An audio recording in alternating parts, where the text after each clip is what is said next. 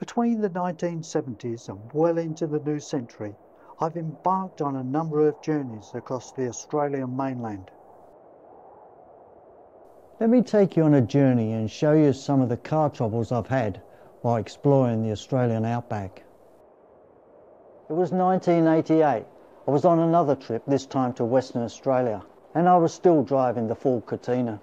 The road to Marble Bar was dirt, but I was able to maintain speeds between 80 and 90 kilometres per hour for most of the trip, except when I encountered the odd dry creek crossing and scraped the bottom of the car because I was travelling too fast.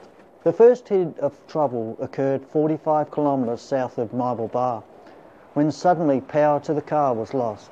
A quick check of the fuel gauge showed there was still plenty left. The plain fact of the matter was that the car was slowing down. It finally came to a halt and a couple of movements with the throttle arm showed no fuel coming through the jets. So I poured a small amount of petrol down the carburetor, turned the ignition key and the engine burst into life, then died as quickly as it started. Maybe there was a blockage in the pipe that leads from the fuel pump. No amount of effort on my part could move it. In the end, I just gave up.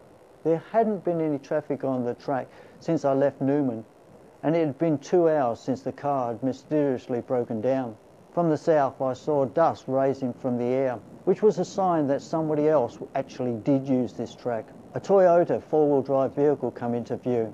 The driver wasn't a mechanic and couldn't tell me what the problem was, but agreed to tow me into Marble Bar. We hitched our two vehicles together with a tow rope that had definitely seen better days. By the time we got going, the sun was already starting to set behind the western ridges. Before the lights of Marble Bar came into sight, that tow rope got shorter and shorter. I was a nervous wreck by the time the two vehicles rolled into town. The car was parked outside the garage, which by this time had closed. Just across the road was the Ironclad Hotel, and that's where I spent the rest of the evening, drowned in my sorrows. The next morning, an inspection under the car revealed a ruptured fuel line. A few days later, while on the same trip, I ran into another problem.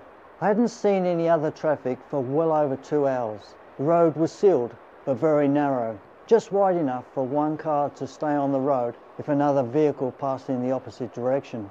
I was about 145 kilometres from Wyndham when a passing truck launched a fair-sized rock in my direction that resulted in a direct hit on my windscreen. The sight and sound of glass changing to the crazy pattern typical of a smashed windscreen is never welcomed. But it's even more of a worry when you can't find a town that actually has your model windscreen in stock. At each town I made inquiries, the answer was always the same. It would be a number of days before they could transport a replacement in.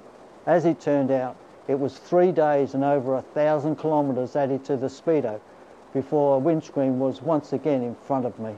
I probably saved the lives of thousands of insects as I travelled those roads with the front of the car open to the elements.